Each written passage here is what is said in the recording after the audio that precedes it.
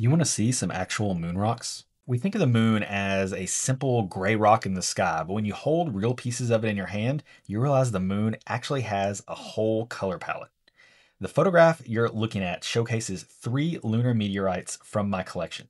Three very different colors of the moon all sitting side by side. On the left is Adrar 17. This one is new to science, officially recognized in 2025 and found in the Adrar region of Algeria.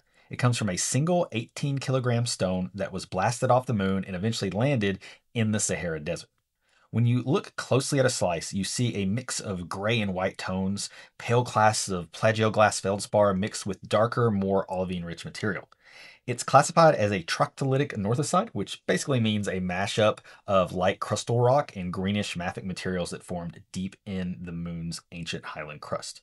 Those soft grays and whites are the color of the lunar highlands the bright battered regions you see with your backyard telescope or simply looking up in the sky. On the right, we jump to a totally different look with NWA 14577. This one is a lunar fragmental breccia, and it started as a pile of broken lunar rocks and mineral fragments that were smashed together by impacts and fused into a single stone. It was discovered in Mauritania in 2021, and the total known mass is just over a kilogram.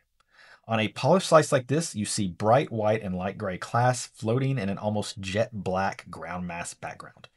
It's high contrast, almost like someone scattered bits of lunar highlands into a dark lunar night sky. Those white clasts are mainly feldspathic material, highlands crust again, while the dark background is impact melt and fine debris. What makes NWA 14577 even more interesting is that it's being studied for its spinel content magnesium, aluminum spinel, and chromium rich spinel crystals that can show up as a subtle pinkish or other colored grains under the right conditions.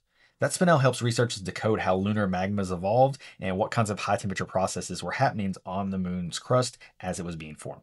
Now, in the middle is something truly special. NWA 17405, sometimes nicknamed the Red Lunar.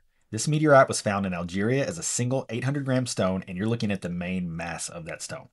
On the cut face, you can see a brecciated mix of gray and black lunar material, but most notably cutting through that are these reddish zones. Scientists think that those areas are the result of aqueous or hydrothermal alteration, where fluids moved through the rock and altered its minerals.